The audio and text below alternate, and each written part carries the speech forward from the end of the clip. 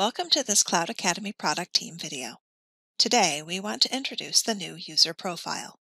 With this new evolution, we've improved the navigation, increased information findability, and most importantly, clarified what skills you're learning and how your training affects them.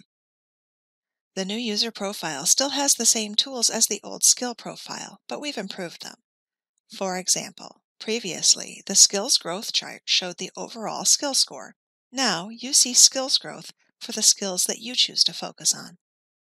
The information on the user profile now has dedicated sections with clear headings, such as My Certifications.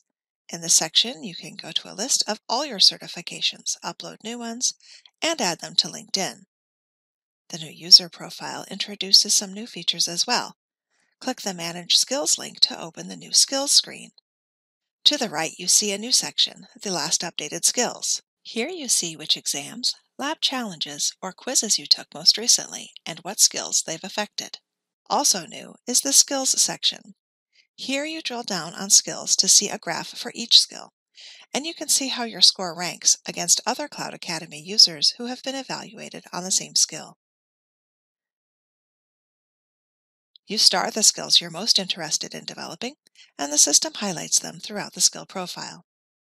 If you're not happy with your score, you can select Prove Your Skill to go to an exam, quiz, or hands-on lab where you can assess the skill and update your skill score.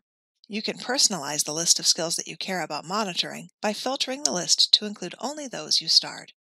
You can also filter this view by your ranking relative to other Cloud Academy users or by your scores that occur in a range.